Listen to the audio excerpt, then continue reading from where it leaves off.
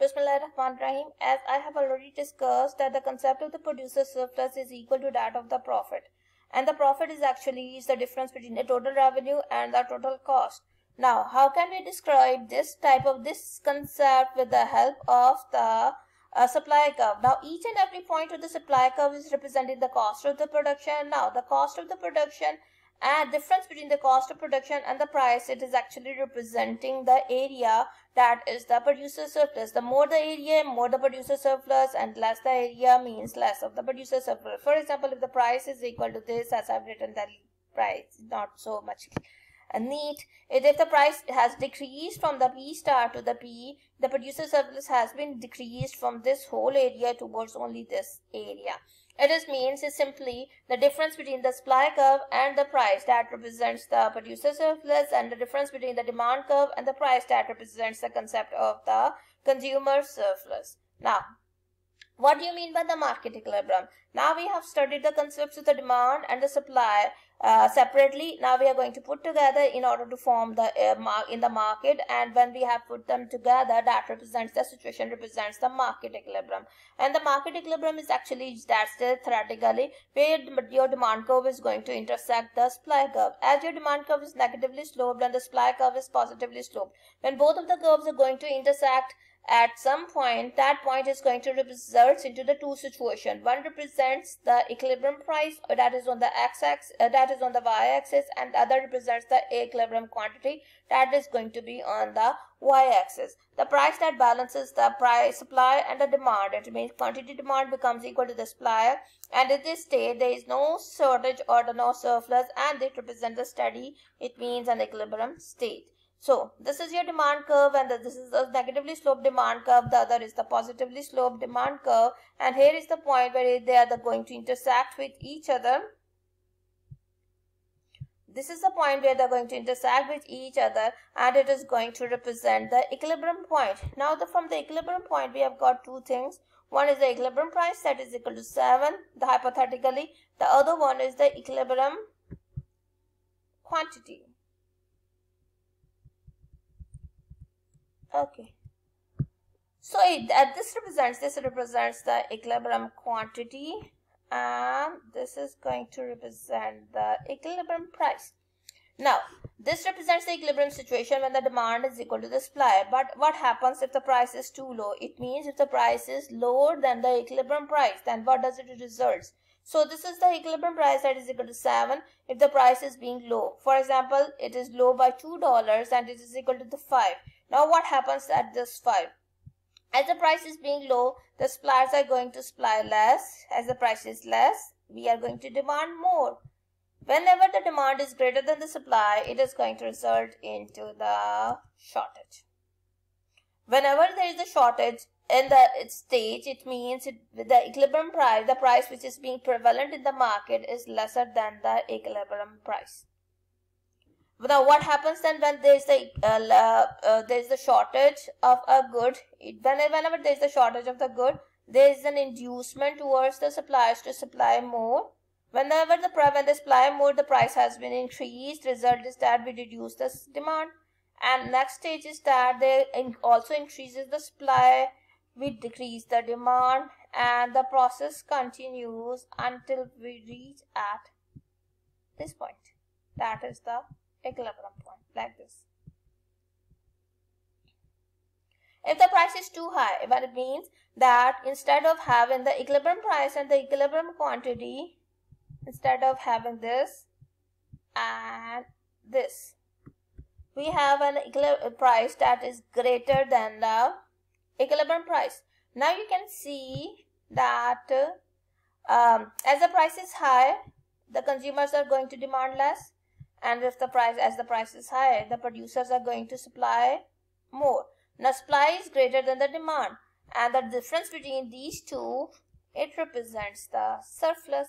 Whenever the supply is greater than the demand it represents the surplus of the production. Now what happens in this surplus of the production? The suppliers tends to reduce the supply when they reduce the supply, the price has been decreased. It has got an impact on the decrease in the demand.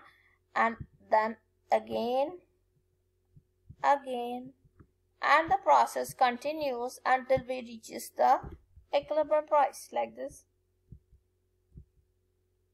So the market is automatically cleared uh, in the absence of any interventions. If the market uh, interventions means now the third party is going to intervene into the market to create that surplus or to create that shortage. If the shortage or the surplus is being created itself within the market, then it is automatically itself is cleared. No one has to intervene in the market in order to clear the surplus or to clear the shortage. The market will be cleared by itself and it, will, it is going to retain its equilibrium point automatically.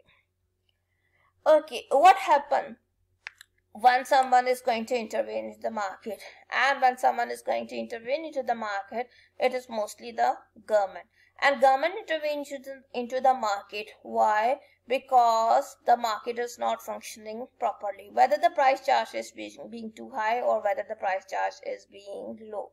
In order to clear that, uh, shortages or surpluses the government has to enter into the market. And government can enter into the market in the form of the price restrictions. Now price restrictions are actually the price controls. And the price controls are being levered by the government. There are major two types of the price controls. One are the price ceilings another one are the price floors. Now price ceilings means it is the legal maximum price that could be charged as a ceiling at its maximum height so we can say it is the legal maximum price that could be charged and by floors we mean it is a legal minimum price that could be charged by the seller.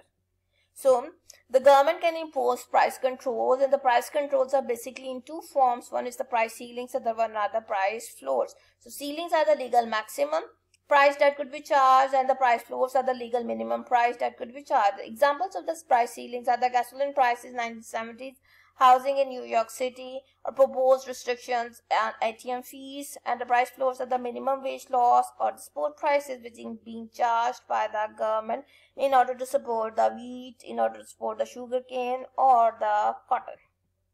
So impact of the price ceiling. So one thing you should always remember that ceiling is the legal maximum but it will always be effective whenever it is leveled below the equilibrium price. At is the legal maximum, it will be um, uh, feasible, it will be uh, uh, very much clear that it will be uh, whenever it is being levered below the equilibrium price, it will be binding in that case. It will be effective in that case. Suppose this is the situation, this is the equilibrium price and this is the equilibrium quantity. If the ceiling is being levered over here, it means it is effective because and the effective ceiling is always going to result into the shortage like this. This is the shortage. And price floor is always as the price floor is the what if suppose if the ceiling is levered over here like this. So suppose that the ceiling is leveled below, eh, above the equilibrium price like this, it will be not, it, sorry, it will be not effective because of the fact that the price which is being prevalent in the market is already low below that of price. So no one is going to bother about this price. So it is always ineffective whenever it is leveled above the equilibrium price. It is always effective whenever it is laid below the equilibrium price and it always results into the shortage. So impact of the price floor. Now, in same is the case of the price floor as the floor is the legal minimum price that could be charged. So it will be effective when it is levered above the equilibrium price like this.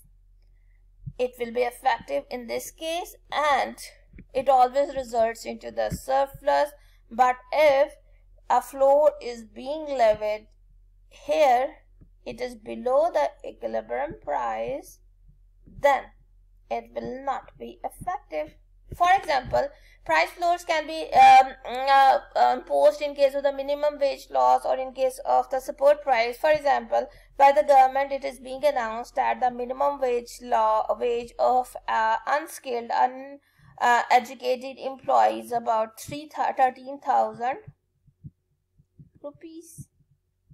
Okay. Okay. So this is the point.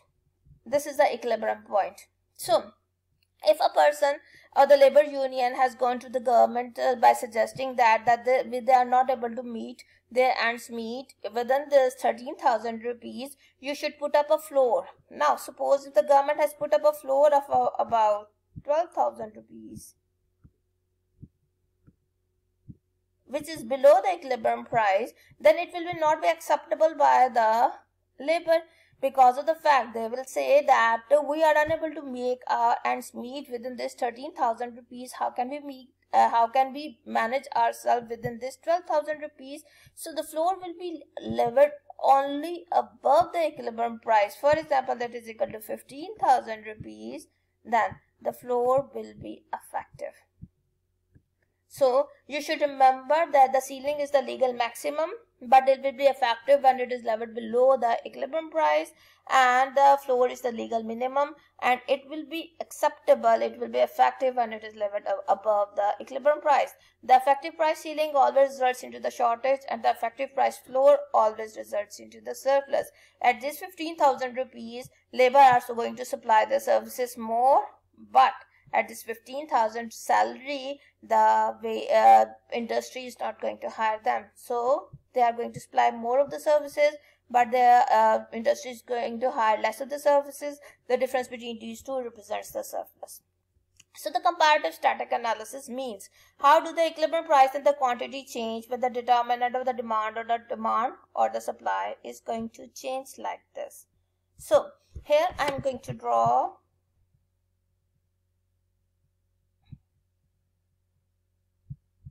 something. This is your negatively sloped demand curve and this one is positively sloped supply curve. Okay, same is the case over here. Negatively sloped demand curve and positively sloped supply right right. Not good to good.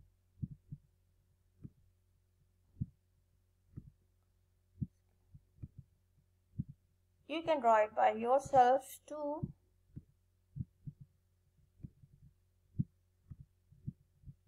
Okay. Now what happen if? In the first case, if the demand is increased and supply is decreased. In the second case, as demand decrease and supply is increased. In the third case, simultaneously demand is going to decrease, supply is decreasing, and here the both of the facts are increasing. Demand is increasing and supply is also increasing. So this is the equilibrium price, equilibrium quantity, equilibrium price, equilibrium quantity, equilibrium price, equilibrium quantity, equilibrium price and this one is the equilibrium quantity. Now I'm going to change the color of the pen like uh, it's some blue. Okay, demand has been increased. When the demand has been increased, the demand curve is going to move up. Supply has been decreased. The supply curve has going to move in this direction. So this becomes the equilibrium price and this becomes the equilibrium quantity. When the demand has been decreased, demand has been decreased, demand curve is going to move in this direction, supply has been increased, supply curve is going to move in this direction. So this is the equilibrium price and this one is the equilibrium quantity. If the demand has been decreased, demand curve move in this direction, supply has been decreased, it moves in this direction. So it has been equilibrium price and equilibrium quantity. If both of the things have been increased, both of the curves moves out. So this is the equilibrium quantity and equilibrium price. So we can see that is changes in the equilibrium price and the equilibrium quantity if because of the any of the factor because of the wages because of the government regulation because of the any other thing. If someone something is going to change then the demand curve will move. If the demand has been increased the demand curve is going to move out and the supply has been increased the supply is going to move out and vice versa. And how it is going to move up in the real situation that example i'm going to discuss in the next section